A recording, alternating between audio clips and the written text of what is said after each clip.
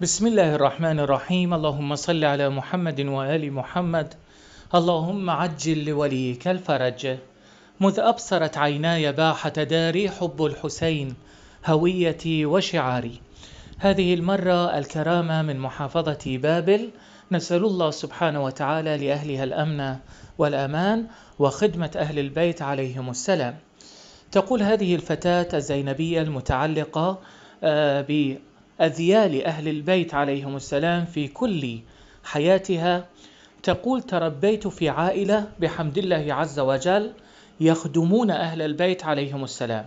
وكذلك في العائلة الاحترام والتقدير المتبادل بيننا جميعا. والدي تعب على تربيتنا كثيرا وأمي سهرت علينا كثيرا كي نكون بنات صالحات وأولاد صالحين. النتيجة من الأخير. عندما كبرت ويعني بمعنى تهيأت للزواج وأصبحت مؤهلة للزواج آه، جاء أو جئنا عفوا جئنا خالاتي إلى البيت. وكانت إحدى خالاتي تريدني لولدها يعني لابن خالتي. وكانت أمي تعترض اعتراضا شديدا لأن ابن خالتي ليس على طبعنا وليس على ديدننا وليس فيه شيء يناسبنا أبدا. لذلك أمي رفضت. خالتي الأخرى قالت لا بأس إذا أنت ترفضين فلان اذا آه، اجعلي ولدي آه، يتخذ من ابنتك زوجة. كذلك أمي رفضت وقالت أنا غير موافقة.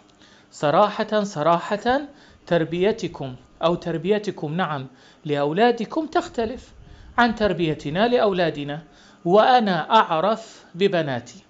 بناتي يهت... يعني يهتمن كثيرا في مسألة الصلاة يهتمن كثيرا في قراءة القرآن يهتمن في العبادات إلى غير ذلك وهذه الأجواء ربما لا تناسبكم وأنتن أخواتي ولا أريد أن أخسر منكن أحدا أبدا لا أريد أن أخسر واحدة منكن أبدا. لذلك فلتبقى علاقتنا طيبة فيما بيننا وبينكم. لماذا أنتم تلحون علي في كل مرة تقومون بزيارتي إلا تزوجين فلانة من آه، بنت فلانة أو بنت فلانة أو بنت فلانة هذا ليس بصحيح. الزواج ليس فيه إكراه والزواج ليس فيه إجبار.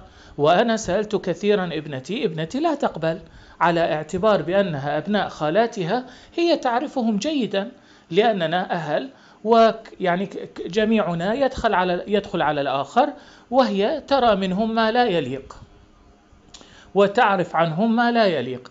هذا الكلام كان مؤذيا كما تقول لجميع خالاتي. تأذين من الكلام آه، اعتبرنه قاسيا مهينا لهن جميعا زعلن على أمي واتفقن بأن لا يأتين لزيارتها ابدا. لا بأس تقول لا بأس. الإنسان الذي لا يريد أن يستمع لقولك وأمي قد رفضت اولا اولا بذوق وبلباقه ولكن هذا الإلحاح المستمر يوصل الأمر بأنك تقول لماذا؟ أجواؤكم البيتية لا تلائم أجواء بيتنا وأنا لا أريد لابنتي أن تعيش في عذاب أو ابنكم أو ولدكم يعيش في مسألة آه، عدم الرضا على الزوجة وهي تفتعل معه مشكلات وربما يصل الأمر إلى الطلاق. فلماذا نحن نفسد حياتهما؟ ومن جانب آخر نفسد علاقتنا كأهل وأقارب وأخوات إلى غير ذلك. انتهى الأمر كما تقول لم ينتهي. في يوم من الأيام سبحان الله أصبح كل من يأتي إلي ويريد أن يخطبني. وتقول أنا بنص العبارة تقول أنا بحمد الله عز وجل فتاة جميلة ونحن معروفين يعني في مسألة الجمال كبنات وكذلك أخوتي يعني وسيمين جدا وكذلك من ناحية الثقافة بحمد الله خريجين جامعة من ناحية الأخلاق عباءة وحجاب متدينون ملتزمون. ولكن سبحان الله كل من يأتي إلينا بمجرد أن يدخل إلى بيتنا بعد ذلك لا يأتي بعدها أبدا. انتهى الأمر. لا يأتي بعدها أبدا. مرة مرتين ثلاث أربع مرات ومن دون أي سبب يذكر.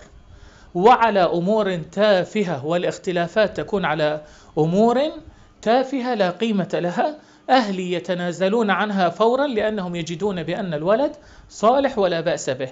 ولكن سبحان الله وصل الأمر إلى تسع مرات. تسع مرات لتسعة شباب يحملون أخلاقا ويعني عملهم جيد إلى غير ذلك. ولا تتم أي زواج منهن. وقع في قلبي قلت لا سمح الله ربما وصل الأمر بخالاتي أن يعملن سحرا أو قمن بحس يعني بحسدنا بشيء من الأشياء ومن الأمور الذي عطل قسمتي تماما. الحسد والعين لها أثر. كما ورد عن أهل البيت عليهم السلام بل يصل الأمر إلى آه، إلى الموت. كما قال الإمام الصادق عليه السلام بأن أكثر أهل المقابر بسبب العين يتكلمون بما لديهم وبما عندهم من نعمة الله فيحسدهم فلان إلى غير ذلك ومن الحسد ما يمرض ويورث العلة في البدن. أو قلت بأنهن عملن سحرا لأن إحدى خالاتي سمعت عنها وتأكدت بعد ذلك إنها تذهب إلى بيت فلانة التي هي عبارة عن ساحرة ومشعوذة ربما فعل الشيء. كيف أنا يعني تقول كيف أعرف ذلك؟ لا أستطيع. أستحي بأن أكلم أمي بهذه الصورة وأخشى بأن تزعل علي لأن أمي لا تقبل لهذه الدرجة بأن أتكلم عن خالاتي. فسكت واحتسبت الأمر وفوضت الأمر إلى الله سبحانه وتعالى. يوم من الأيام تتصل كما تقول إحدى بنات خالاتي بي وتحاول قدر الإمكان ماذا؟ أن آه يعني تقنعني إقناعا جبريا بأن أتزوج من أخيها. وأخي سيفوتك وأنت فتاة لا نريد أن نفوتها أبدا وستكونين بعائله جيدة ونحن أولى بك من غيرك إلى غير ذلك من هذا الكلام. وأنا كنت أتلطف بالكلام معها وأرفض وإذا بها ألقت كلمة علمت أن هناك سحرا في الموضوع. فقالت إذا ما دام قد رفضت لن ترين الزواج أبدا لن ترين اطمئني. كل من يأتي إليكم لن يقبل بكم أبدا. هنا وقع في قلبي بأن خالتي الفلانية هي التي قد عملت السحر كما أنا ظننت في الأول. هنا أخبرت أمي وقلت لها بأن خالتي الفلانية قد عملت لي سحرا. وقد عطل قسمتي تماما. فقالت كيف عرفتي فأخبرتها بالأمر فاقتنعت وقالت بأن خالتك لديها سوابق في هذا الأمر. ماذا نفعل؟ نحن لا نعرف. السحر أين؟ وكيف يفك السحر؟ هذه الأمور ليست في بيتنا. لم نتعلم عليها ولم نذهب لأحد عليها أبدا. فوقع في قلبي بعد بكاء شديد في ليلة من الليالي بأن أتوسل بالله عز وجل وأتوجه إلى صاحب الزمان سلام الله عليه. لأن صاحب الزمان سلام الله عليه هو إمامنا. الإنسان يفر إلى إمامه. الإنسان يلتجئ إلى سيده ومولاه. نحن نعمل ونحن عبيد عند سادتنا وهم سادتنا ونحن عبيد عندهم والعبد يرجع إلى سيده إذا ما وقع في مشكلة. يرجع إلى سيده وهو الله عز وجل ويرجع إلى سيده وهو صاحب الزمان سلام الله عليه. وقع في نفسي بأنه في الليل أقوم بالتوسل بصاحب الزمان سلام الله عليه. فماذا فعلت؟ أخذت القرآن الكريم وبدأت أقرأ سورة الإنسان. هذه السورة التي تتكلم عن فضائل أهل البيت عليهم السلام عن فضيلة علي وفاطمة والحسن والحسين وهذا ما يحبه أهل البيت عليهم السلام. إظهار فضائل علي بن أبي طالب إظهار فضائل السيدة فاطمة الحسن والحسين عليهما السلام أو عليهم السلام. قرأت سورة الإنسان 14 مرة وسورة الإنسان سورة عظيمة وثابت فيها الولاية لأهل البيت عليهم السلام. ويحبها محب علي بن أبي طالب عليه السلام كثيرا لأن فيها كرم علي مولانا وكرم السيدة فاطمة وكرم الحسنين.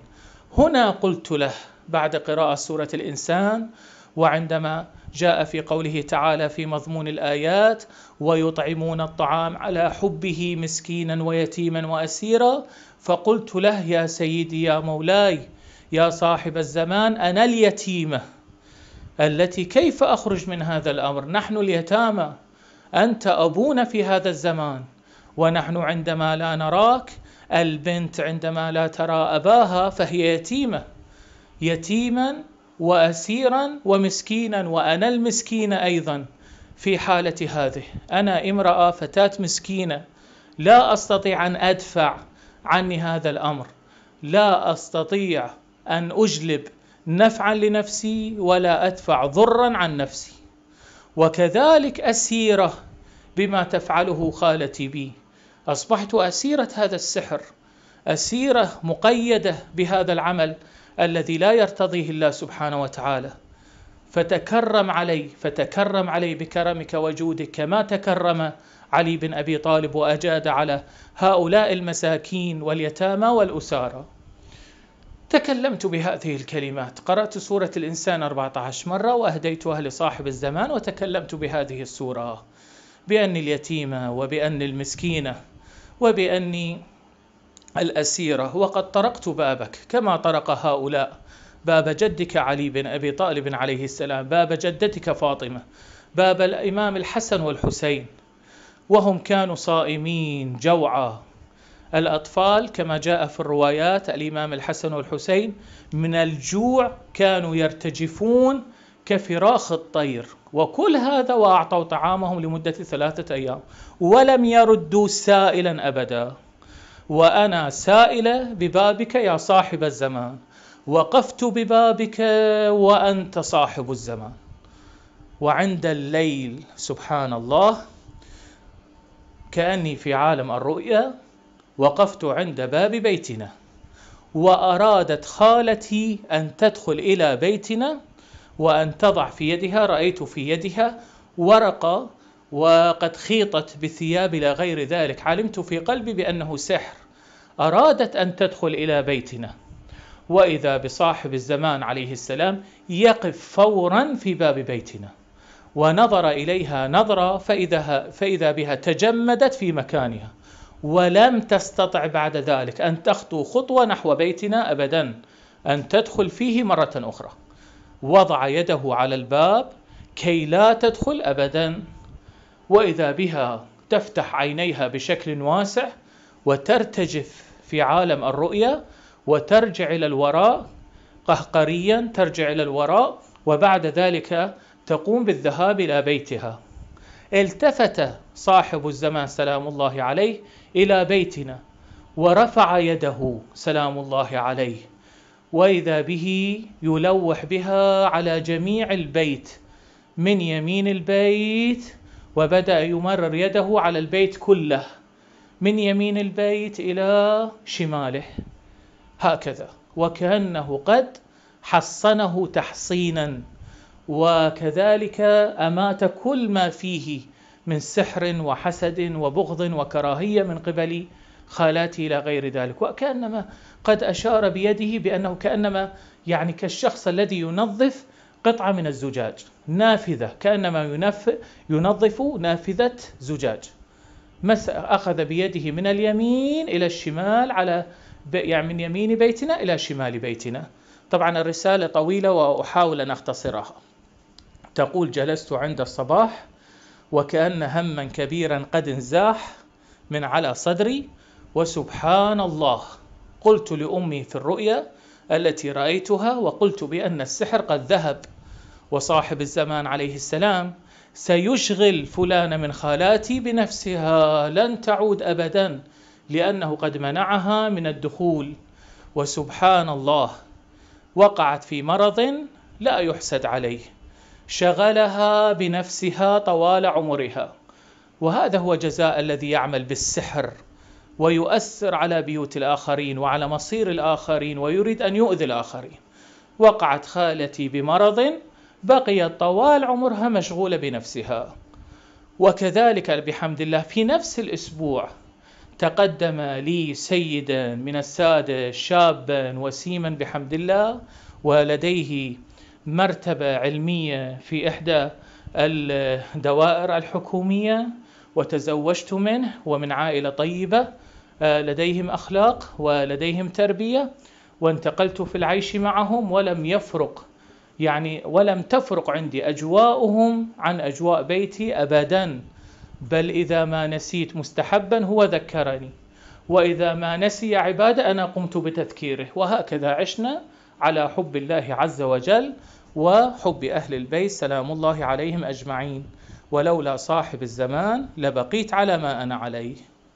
برنامج صباحات ولا أيامين محمد خادم في مرقد الحسين بن علي عليهما السلام.